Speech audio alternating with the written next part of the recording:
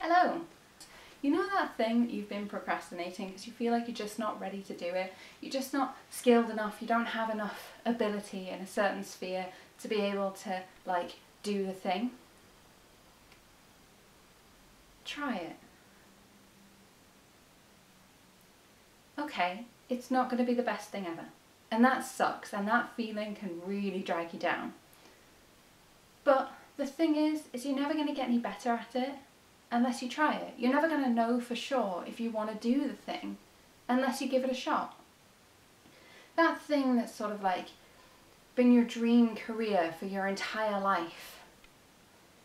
But you're also kind of scared that it's not going to be how you imagine it to be or it's not going to work out the way that you want it to. Try it. See if you can get a foothold in there somewhere.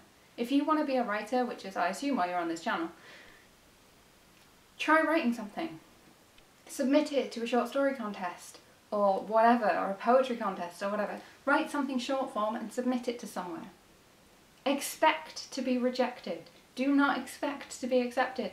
But you know what? You've done it now. You've submitted it to somewhere. And in the grand scheme of things, that means somebody else has read your writing for judgment.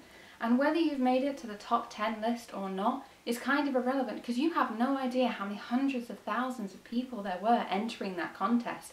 There could have been literally 7 billion people entering that contest. It's probably not likely, but it could have happened. And the thing is, is it just gets you that one step closer. I really truly believe you can do it. I do. I honestly believe you can do it. You just need to take that first step now. You can do this. Just put that little voice that's trying to tell you you can't because it's too hard into a little box. And put that little box on a shelf and say, okay, I will come back for you in a minute because I understand that you are a part of me and, and I can't get rid of you full time. But right now, I will put you in a little box on this nice shelf here.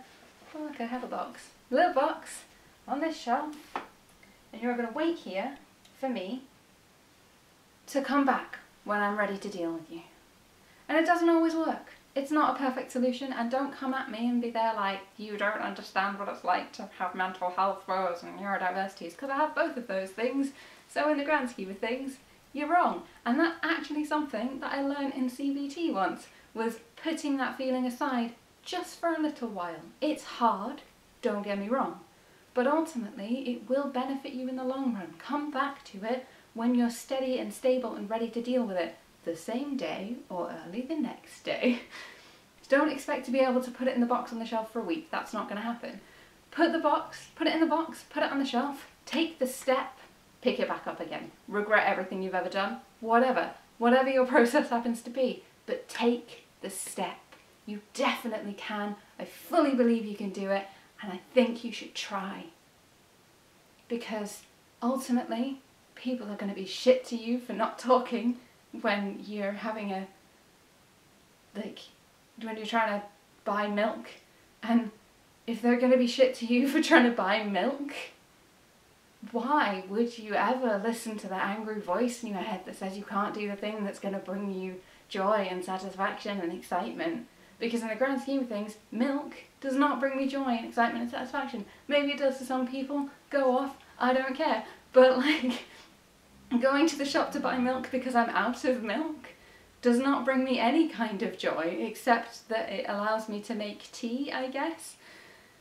So like having a shitty interaction with someone when I'm trying to buy milk is probably just as bad as the internal monologue that I have that tells me I can't do this, I can't publish a book, I'm not good enough to submit to that short story contest. I should never have taken any of the steps that I've taken on the road towards self-publication and who do I think I am self-publishing anyway because in the grand scheme of things everybody knows that self-publishing is the loser way out because somebody couldn't get a book deal and like in the grand scheme of things that's not what's happening here. Yes I did query the project that I am now self-publishing but it's also been through edits since then and I've decided that I don't like the querying process and I don't actually want to go through that for this book. It's not like a, oh I couldn't get it, I sent out two queries.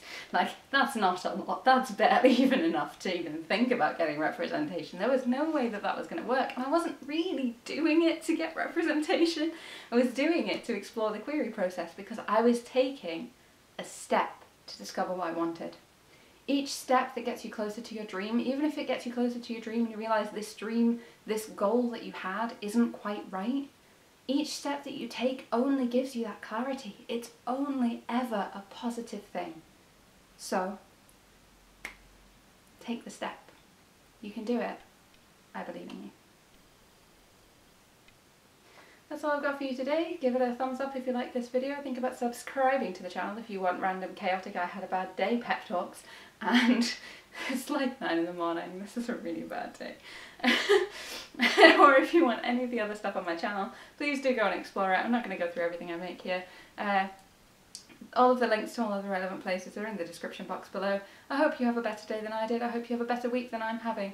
It's only Wednesday when I'm filming this and I'm having a bad week but um, things are starting to look like they might be turning around because one of my friends has emailed me about a really exciting venture that we're doing together and I'm super jazzed about that. And yes, if you want to support me in what I do, there's a link to my Ko-fi account in the description below. Bye. Do I have a plan for these pep talks? No I don't. Do I literally only ever make them when I'm having a bad day? Yes I do. It's the best way to turn a bad day around really, is just to sort of radically be positive.